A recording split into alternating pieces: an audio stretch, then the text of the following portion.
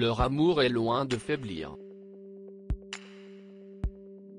Si elle a toujours refusé l'étiquette de première dame, restant dans l'ombre de François Hollande lorsque celui-ci était au pouvoir, Julie Gaillet ne se prive désormais plus de s'afficher auprès de son bien-aimé. Dans une publication relayée sur son compte Instagram ce dimanche 29 août, à l'occasion de la rentrée de septembre 2021, l'actrice et productrice a ainsi partagé un nouveau cliché témoignant de tout son amour pour l'ex-président de la République.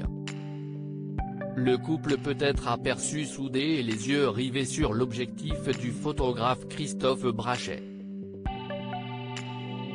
L'ancien chef de l'État est au premier plan tandis que sa belle l'enlace par derrière, son menton reposant sur son épaule.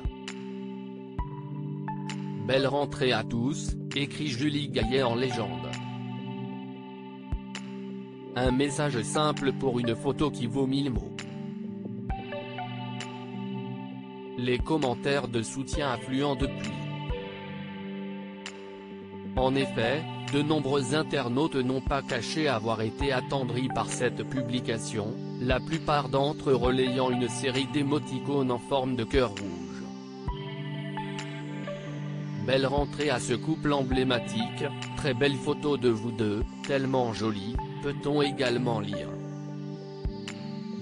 Encore une façon pour la principale concernée de faire taire les rumeurs autour de son couple avec François Hollande François Hollande accusé d'avoir trompé Julie Gaillet Souvenez-vous, le 20 novembre 2020, le magazine Voici a pointé l'homme politique du doigt pour infidélité.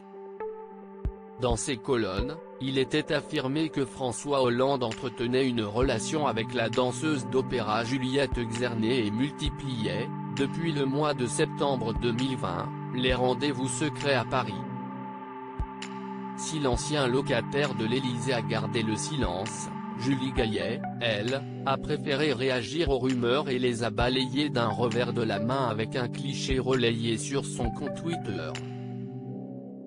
Ce n'est finalement que lors de son passage dans l'émission 6 à la maison, le 23 novembre 2020, que François Hollande a réagi aux rumeurs d'infidélité, des bruits de couloir qu'il a qualifiés intolérables et d'ajouter, si y est une atteinte, pas simplement à l'intimité, si y est une atteinte pour les personnes qui sont concernées. En l'occurrence, il y a encore eu des photos parues, donc nous avons tous décidé, tous ceux qui étaient sur les photos, moi-même, Julie Gaillet et Juliette Gernès d'attaquer le journal en question.